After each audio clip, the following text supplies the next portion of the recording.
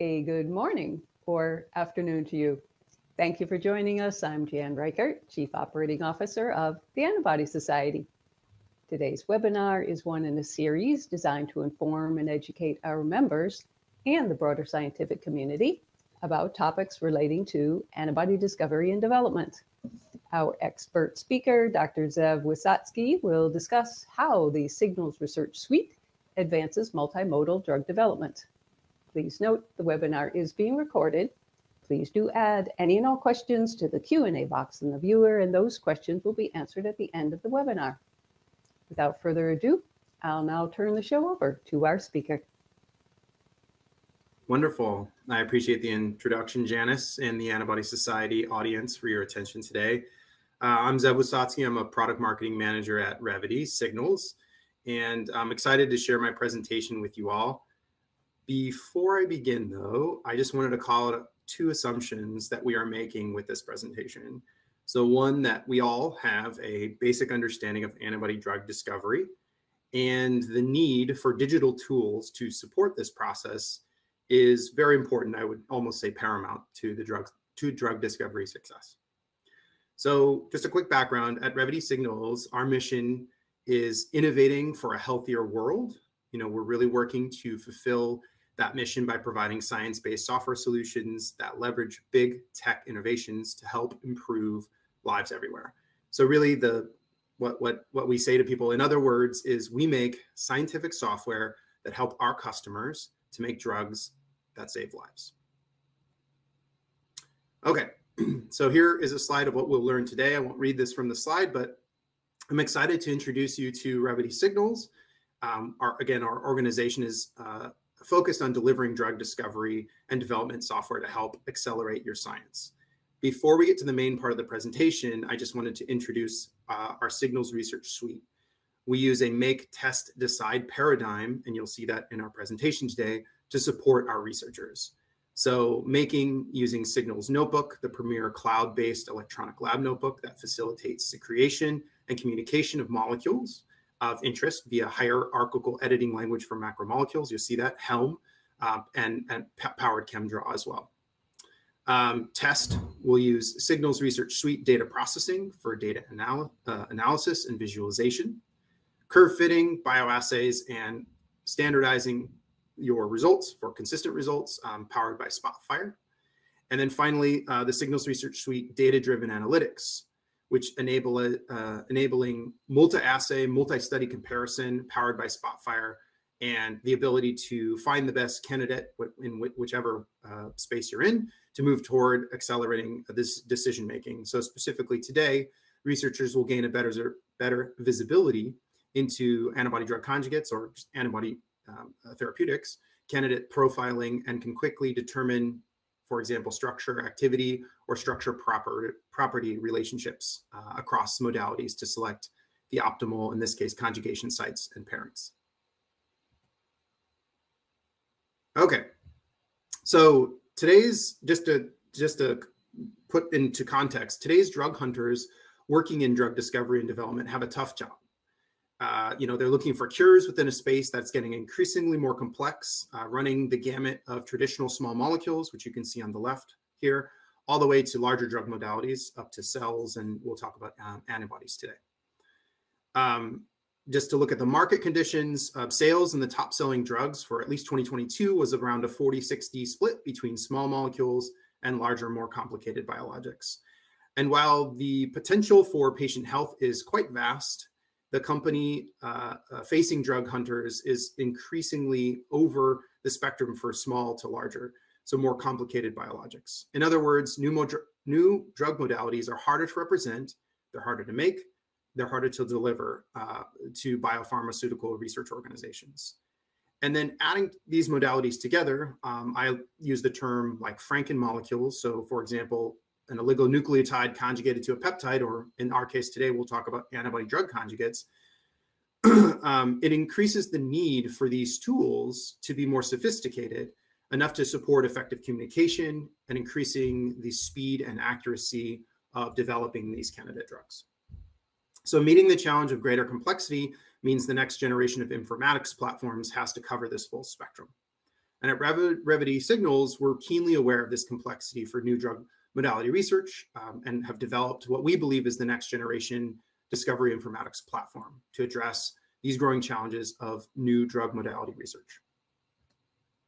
Okay, so again, to make software powerful, it needs to communicate and represent science with the end goals in mind. For example, if you're working on small molecules, as a chemist, you'd require chemical structures and other tools to showcase how structures are made. As you get larger, working uh, with a scientist um, potentially on oligonucleotides, you need consistent and easy ways to represent or build these, uh, such as Helm or other sequence-focused tools. And as you get to the protein level, um, you know, a scientist could need things like AlphaFold or other 3D structural tools. Although today we're focusing on antibody drug conjugates, it's challenging to find software tools to connect and support the needs across these modalities.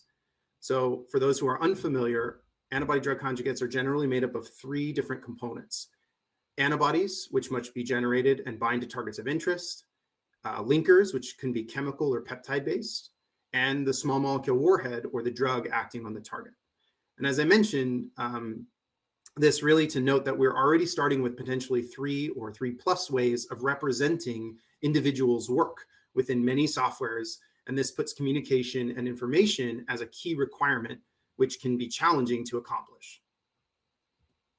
So furthermore, um, I'll introduce you to our cast of characters today. By the way, everything you're seeing here is a, is a faux uh, uh, biopharma. So this doesn't exist, but it's helpful to walk us through. Um, and we work with many companies um, in this particular situation. So Hopper Biopharma is our um, is our company today, and um, working on antibody drug conjugates also introduces scientific specialties in which potentially three or more separate subject matter expert groups will need to work together, making these final candidates for testing. So here's our team. So we have Alice in the top left, um, who's working on antibody drug uh, discovery team. Uh, Alex and Stacy's team uh, will be on the assays. So one will be doing like primary and secondary screening. And then there are decisions that are made to either advance or re-immunize. We'll see in a second. Paul is in the protein um, engineering team, and Charles is from the small molecule team. So again, I'm saying this a couple times because I think it is easy to say software will solve everything, but we have to really think about you know the people involved and who are doing this. It's a challenge to work seamlessly together. We're using various different tools potentially disparate not connected not easily searchable. We have three plus data work streams and data sets being produced in some cases simultaneously. Some are highly dependent with no and go no decisions for gating various different aspects of the organization. And the ability for these groups for yourselves for people who are studying and, and working in this space to be efficient, um, to have to fail quickly or to succeed quickly with candidates is a key metric for drug discovery. So let's review the ADC research flow, and then um, I'll show you how this looks and it is accomplished today in the Signals research suite. Okay, so um, we will first start with the immunization, um, harvesting, harvesting of cells. We will then generate the hybridoma cell lines for testing in primary high throughput screens. In this example, maybe like an ELISA um, or others. Excuse me. Then we'll send for a secondary screening. Um, we'll be using surface plasmon resonance assays, but there are other binding assays that one can do. And then from here, we'll go to our first go or no go decision where uh, we'll you know, make a decision on whether to start an, another immunization or, or um, press on assuming that uh, these candidates are meet the criteria that we're looking for, candidate antibodies will um, be selected for further optimization and expression uh, binding humanization for antibody drug conjugation. And then these antibodies are purified and we'll need to combine the payload and the linker to generate the ADC, which will then be tested extensively and finally to uh, the ADC candidate nomination. So Typically, this is much more complex, as you can kind of see here. So we've worked with companies, and this is an example. This process can take months, uh, up to years, uh, and you know it's it's more complicated than the previous slide uh, that I represented. Uh, but to make our our yeah, uh, and and and I'll I'll just mention that um, you know we work with many companies in this space. So uh, to make our, our presentation a little bit more interactive, we will now post our first of three poll questions um, I'll give the next, you know, 30 to 45 seconds to participate.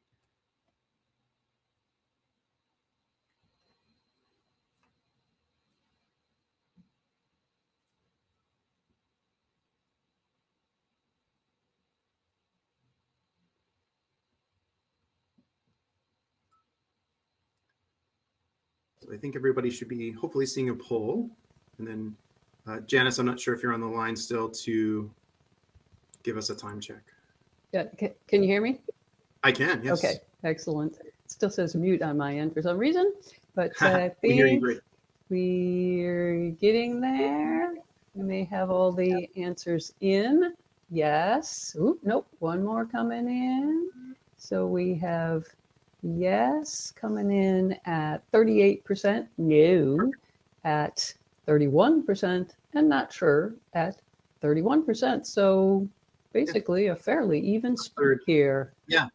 Yeah, so the, the question was, you know, how do you feel your current software supports antibody drug discovery today? And um, this is this is quite typical. We see kind of between a 25% uh, to 30, as you saw here, or 30, 32% um, of customers saying, yeah, you know, we feel like it, it fits what we need. And then about, you know, two thirds to more, sometimes 75% in the I don't know or or for sure, no, it does not support.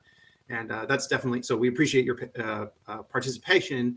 And um, you know, one of our goals uh, is to really support that and and and hear that voice and try to continue to um, make our softwares better. So appreciate that. We'll move on.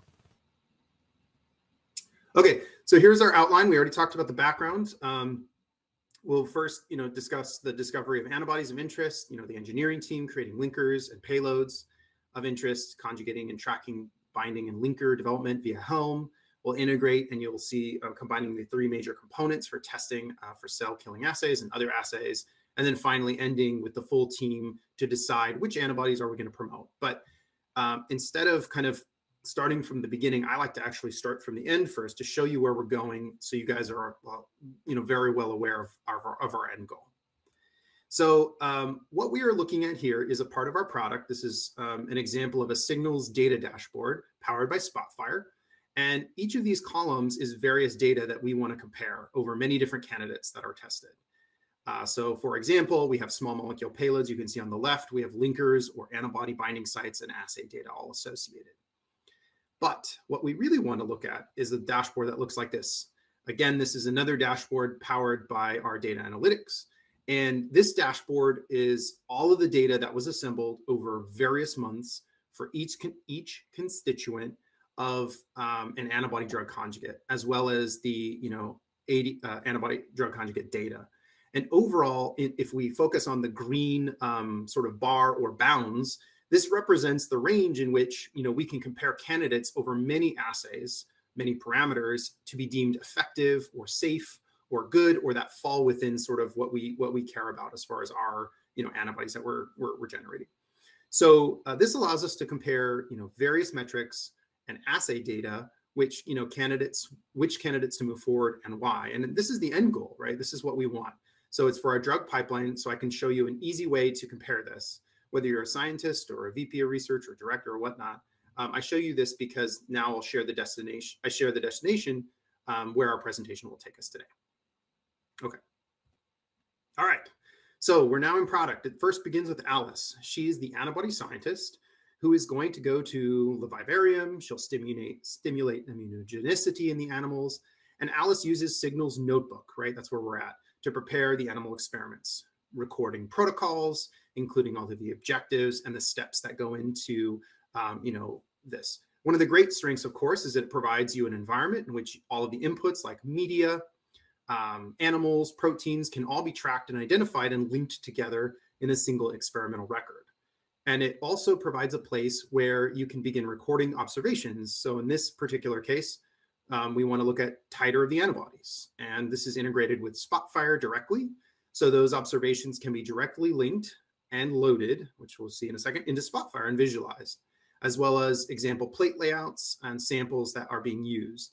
So this is all now part of a single experiment that is, is supporting all of the workflows that, you know, for Alice that she would need to generate this um, for the animals. Okay, so the benefit or value for Alice is because Alice is you know responsible for multiple experiments potentially in parallel. Excuse me. She has uh, you know she needs a single environment in which that she can you know house all of those, each of those studies, and can more easily be tracked. All of the data for them, and it's all organized. Additionally, communication and the ability to share this data uh, and materials is also very paramount as her hybridoma cell lines will be needed for testing in the next stages. Okay. So moving on, um, next, Alex, the assay scientist, will take these clones that have been selected and run them through a battery of acids, assays, excuse me. Again, Signals Notebook will assemble the media materials equipment and protocols that will be used for his high throughput plate screen for primer activity. And so we will bring all of these um, results into Signals Notebook. You saw that in drag and drop, but this could also be done programmatically. And then Alex will use Signals Research Suite data processing experiment, again, uh, this integrated version of Spotfire to support the high end-to-end -end process. And because all of the um, data is integrated for Alex, he can track and centralize the data processing. So he's doing a high throughput ELISA. The raw data comes in from the Signals notebook all the experimental properties, plate maps you can see here, and experimental details are being brought in. And then he will go to uh, the high throughput Q, or high throughput sequence uh, QA/QC app, which we'll see very shortly, and um, you know facilitate the normalized view of all of the controls, the plate layouts, and the results will be normalized. So that's what we're looking at here. And finally, um, this will be put into a hit selection, uh, a little bit more. Oh, sorry, still normalization results.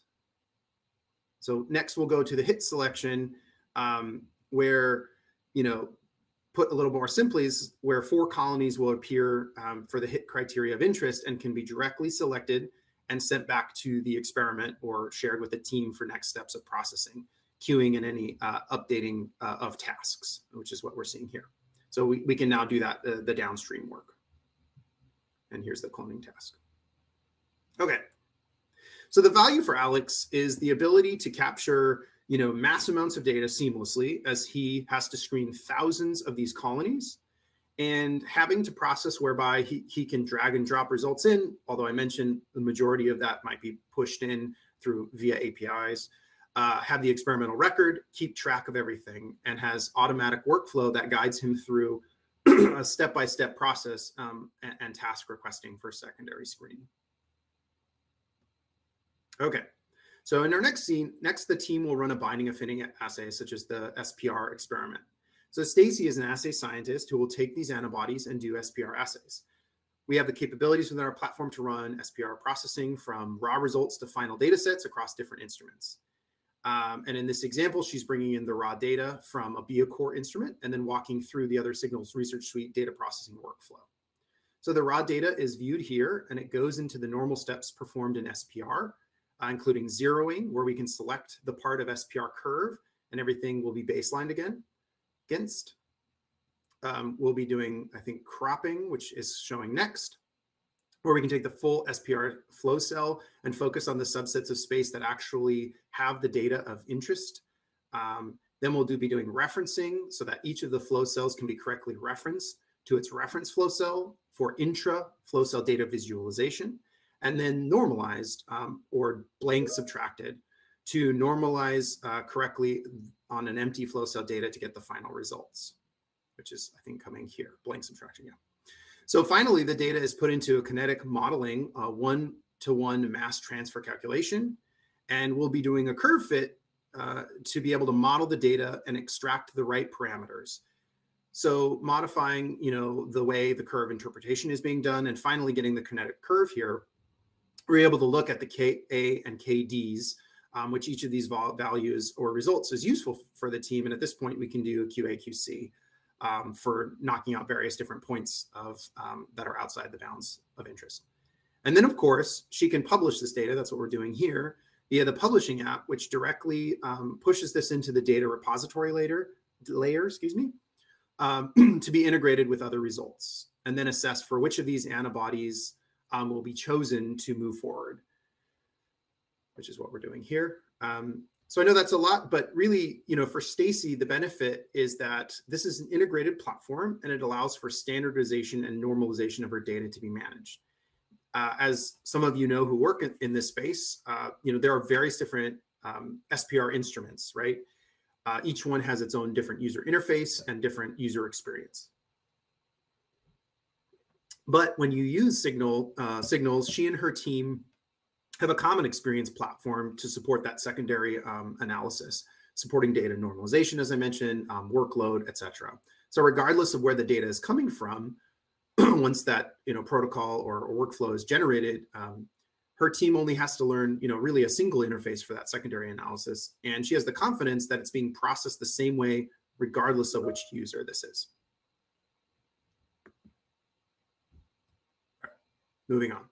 So having generated the hybridomas and generating antibodies, the team is now ready to decide which of these antibodies are most efficacious given the requirements. So um, we're looking at an antibody dashboard here to do so. And here you can access the global search where antibodies can be selected. Here we can see uh, the individual's results for CDR regions in each antibody in just a moment. So that and uh, so instead of like a, a, SAR table in for small molecules, we're using a sequence, um, you know, SAR uh, analysis. A lead body, a lead antibody can be pinned and compared to the remaining antibodies to look for patterns um, of you know mutational differences between lead ABs and other uh, antibodies uh, that are being addressed. And we'll, at this particular example, we're looking at hex cell titer to select the lead you know antibody of interest. It's easy to compare uh, for the sequence differences here. But easier would be to use the multiple sequence alignment. Um, so moving to the multiple sequence alignment app, the scientists can pin the reference antibodies to compare, um, driving at the comparison where you can see the distribution of results. And again, you pin uh, a single reference and you can look at the various CDRs within that are in red and compare uh, which mutations from lead antibodies, looking again at HEK, HEK titer and other assay results. So you can see that being um, moved here. But even better would be to have a system return you an unbiased fashion where the best antibody by CDR region um, and within the antibody component uh, um, analysis the user can really select uh, those shown and uh, for improvement and of assay of interest, in this case binding or, or hex, hex cell titer, and select the reference to see uh, the sequence patterns that are really driving these results of interest. So the you know best uh, antibodies are then selected at this point. They're sent back to the signals environment for um, nomination moving forward with the ADC assembly. And this group uh, list uh, is available from here inside Signals analysis object where antibody results can be reviewed with the team and, and how they decide to progress with the next steps of the overall project, which you're seeing here. Okay, so really, again, what is the value here? Identifying the antibody substitutions, correlating these to binding and titer results, and picking the best antibody efficiencies to move forward. We can identify um, which antibodies to advance. This and Signals Research Suite helps surface these results by integrating over you know various data sets, providing antibody relevant tools uh, to make the process easy and as transparent as possible. All right. So we're going to take a quick break here. Uh, here is our second of the three poll questions. Let's give another uh, 30 to 45 seconds to participate from our audience. And maybe we can uh, we can read the question as well. Yep. So question here is, you are generating scientific findings and we would like to know how many teams receive your scientific findings. Is it one team that you communicate with? Three, two, four, more than four?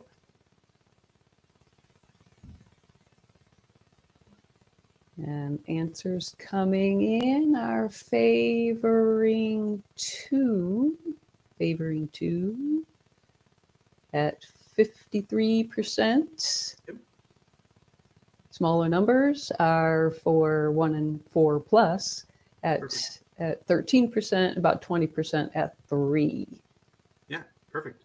I'll, I'll comment on that. I mean, I think that that's definitely in line with what we see as well. Generally, you're working with more than more than one team, we'll say, and I think the like goal with this is really to you know identify with the challenge of communication as you in, increase the number of teams that you have to interact with um, and and multiply that by the number of softwares you all use uh, email etc and, and, meetings um, it's a huge challenge and so we really want to think about that as we you know generate software to make it more useful and um, a, what i'll call a joyful experience um, which is hard to say with software so appreciate that participation again all right, we'll move on to a couple more scenes.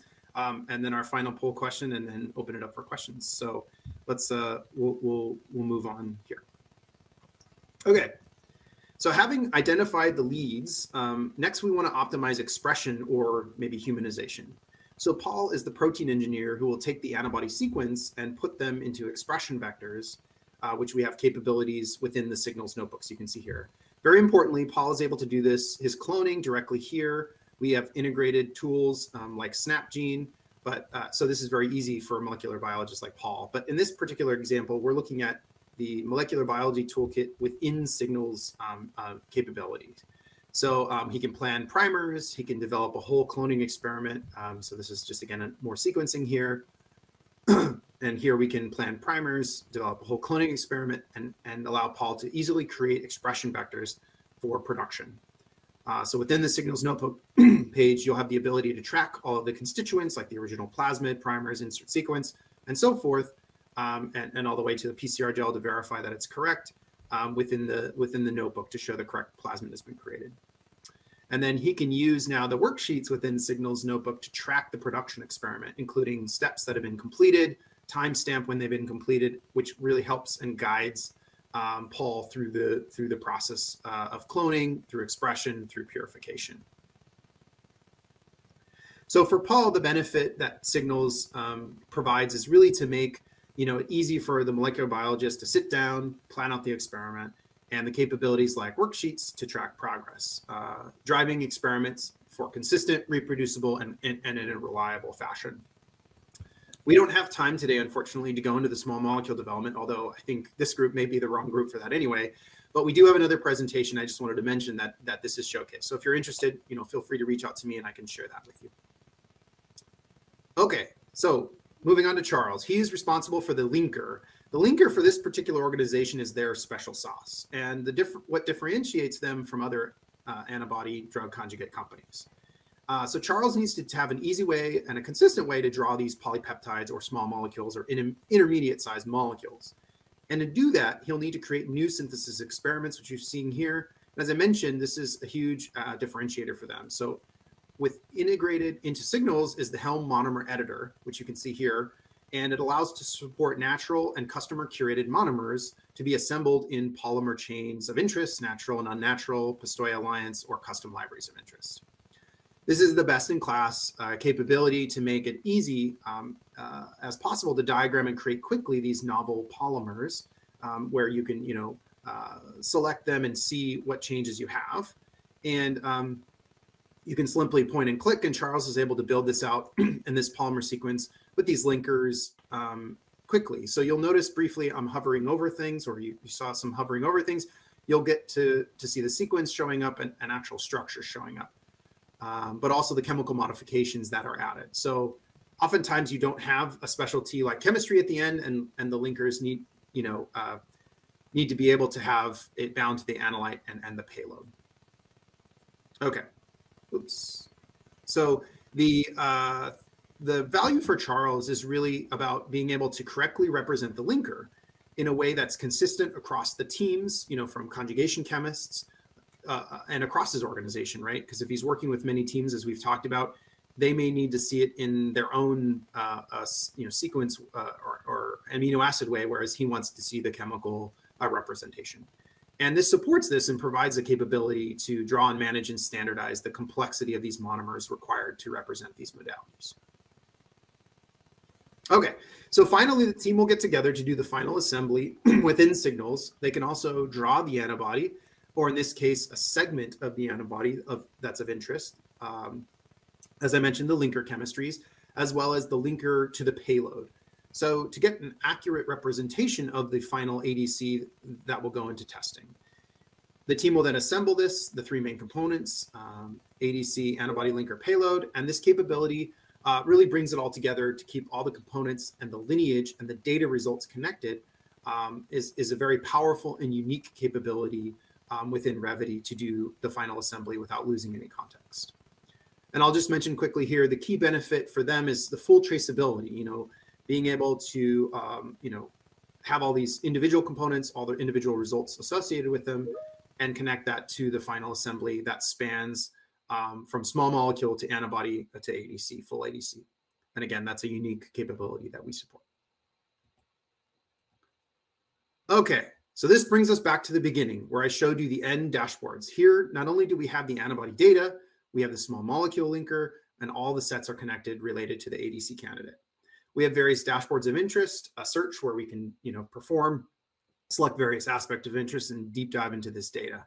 So once the search is performed, we can observe a dashboard that looks like um, the one I showed you in the beginning where all the data is connected.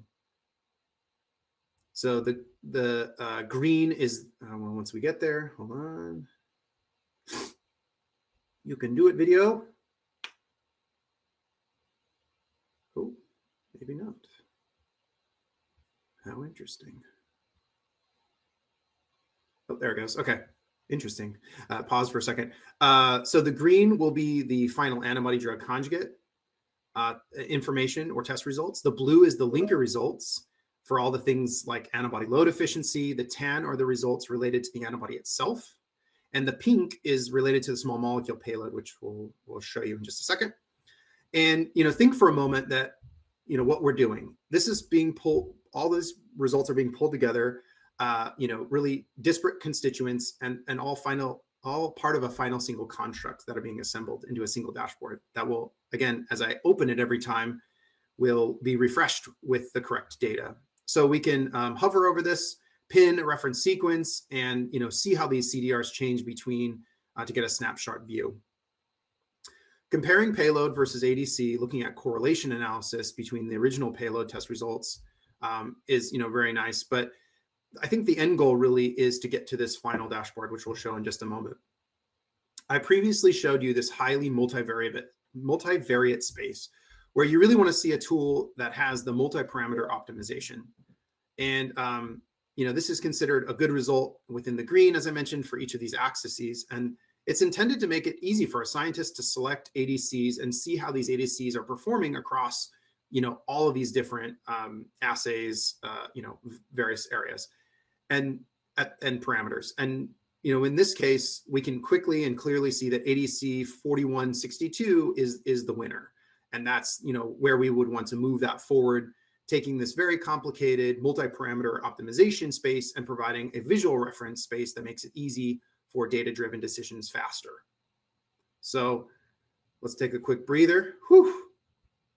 Uh, using signals this adc process can be driven rapidly and thoroughly as i showed end to end and it's all happening within the signals research suite SaaS-based market leading capabilities so we continue to grow and improve uh, and to add what Signals already offers today to make it as easy as possible for customers who are working in the antibody space to benefit from them.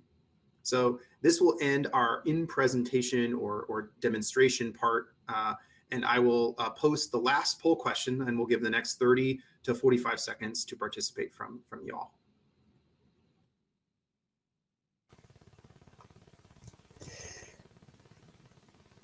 Last poll question is What percentage of your experiments are outsourced?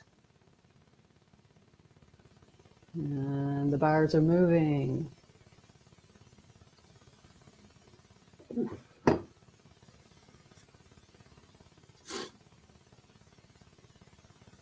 And the bar, oh, bars are still moving. Lots of outsourcing going on.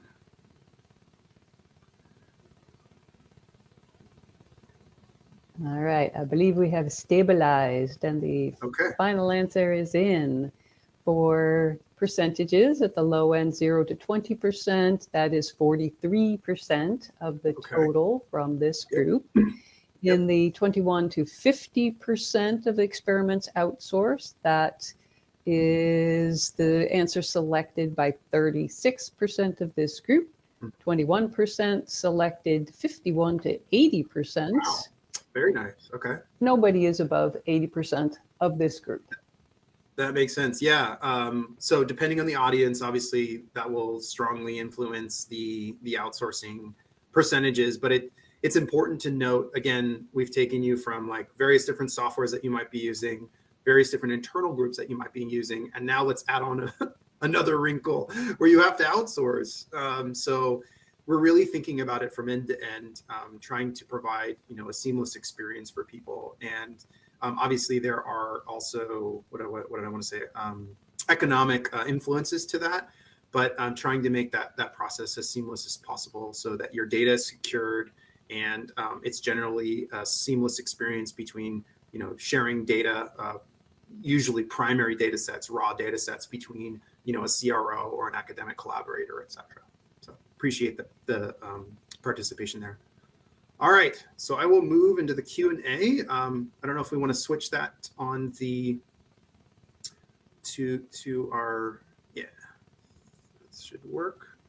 And then I can see all the questions. One second. All right, mine just hung, so I'm gonna.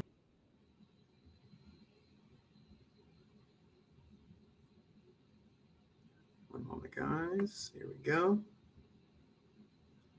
And then we will get to our Q&A session.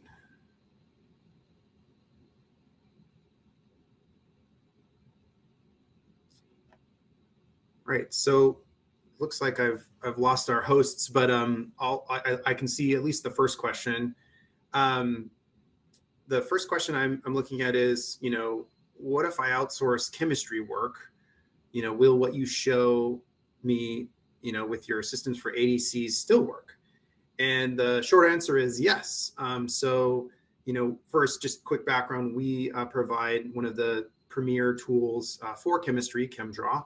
Um, and there is a very uh, near term uh, functionality that we are going to come up with, which is uh, uh, we'll, we'll, have some other webinars um, that we can share with you guys.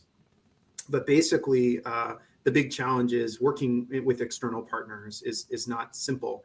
And um, we've created a product that will support that. So basically, think of like the signals suite or the signals notebook um, and being able to share, you know, like a chemical structure, um, to a, a, CRO and then have them generate it or, or something of that nature, if I understand the question correctly.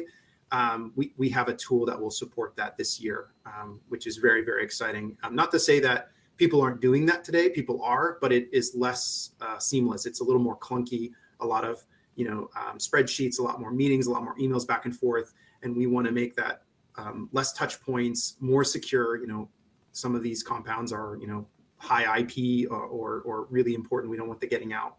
So uh, to be able to do that in a secure fashion and then um, less burden on the individual scientist or the organization to uh, ingest that raw data sets. Um, so hopefully making it uh, simpler for you know a programmatic approach instead of I have to manually copy and paste this where lots of errors can happen. So that should address the first question, which was, you know, if I outsource with chemistry work, will this still, what you showed me today, will this still be able to support me? And the answer is, is that was a long answer. And the short answer is yes. All right. Well, thanks for hopping in there. No worries. Yeah. Yeah. I, I having to disappear. Yeah. No worries. frozen, frozen screen there. It didn't want to yeah. load. The second question then is again about conjugating things. Uh, what about other conjugation pairs such as oligos uh, conjugated with peptides? Can SRS yeah. support these? Yes. So I didn't I didn't have a chance to talk about that, and that may be a little bit less relevant for for this team, but it is important to know that we are supporting those modalities. Um, so we had a customer that was that is their special sauce is doing you know uh, oligonucleotides and then conjugating them to peptides, and then they want to use non-natural or unnatural uh, modifications. So yes, uh, short answer is yes, and the long answer is we have this great Helm capability where you can, you know, um, grab your custom libraries, um, bring those in. Another question someone asked was like, do I have to do it manually? The answer is no. You can do it uh, all in one. However, um, there are some situations too where we want to do, you know, on the fly, like I need to modify this. Um, you can also do that and then uh, uh, add that to your library um, kind of in a retrospective if that deems useful. So thank you for that question. And the next question, payloads used in ADCs will be able to function mostly in drug delivery mechanism. Apart from this, may I know other major functional mechanisms which advances large molecule applications. So sorry, I'm just reading the question again to make sure I'm hearing where you want to go with this. Um,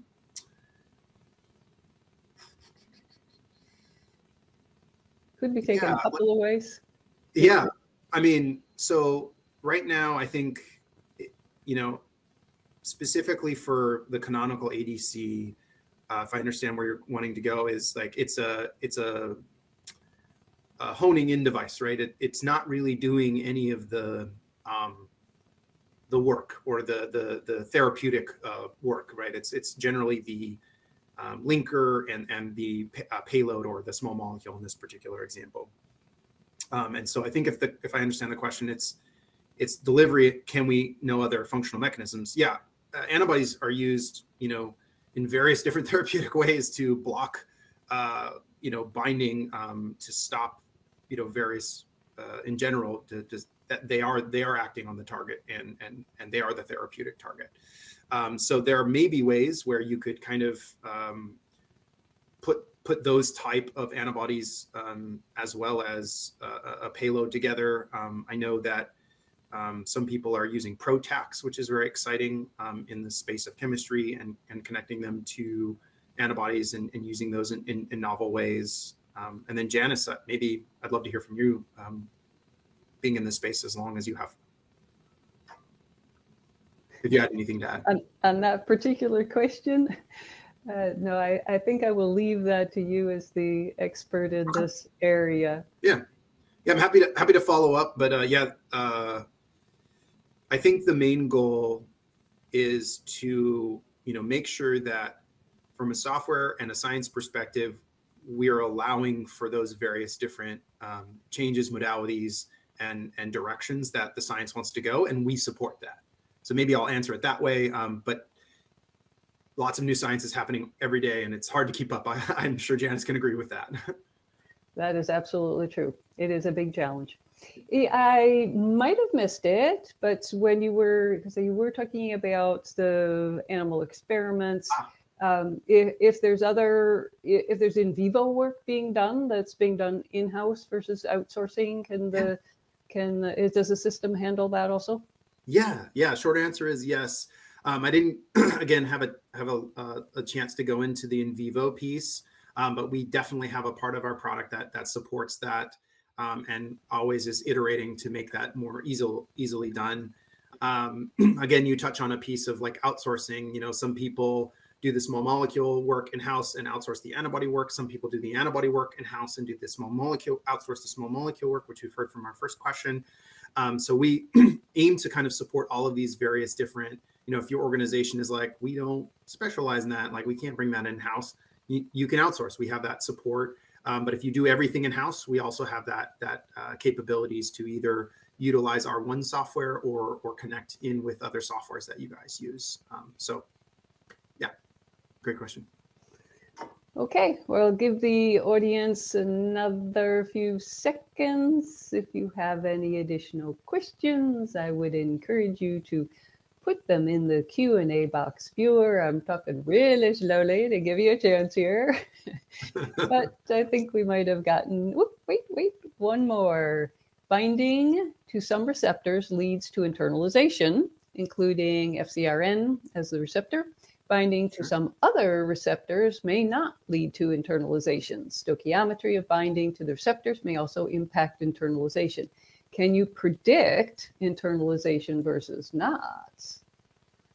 Ooh, okay. So this is a very scientifically driven question. So the short answer is is um, I would need to follow up uh, with a little more detail. But if I ask this question in the sense of how can your software support me in understanding this question, um, I don't know that answer. I would need to follow up. So so what I mean by that is is if we um, understand the science, do we have an app right that would allow you to sort of take in the raw data? Um, I'm assuming it would be either, you know, maybe like SPR or, or other binding assays and actually um, take the raw data and then predict with an algorithm or something like that to actually answer that question for you or at least elucidate that possibility. Um, so I don't have that answer, but that's a really great question and, and I can definitely follow up. So really appreciate that. Okay, another couple of seconds for the final, final questions. I know there's some milling around in there, but if you think of them later, you can always contact Zev later. Yep. So please do feel free to to contact him if you come up with uh, questions after the facts. So, in concluding, I would like to thank Dr. Wysotsky for this very insightful presentation on how Signals Research Suite advances multimodal drug development. And I also thank you very much for joining the webinar today.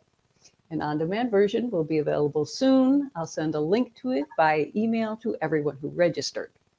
Please feel free to watch this or any of our on-demand webinars when it's convenient.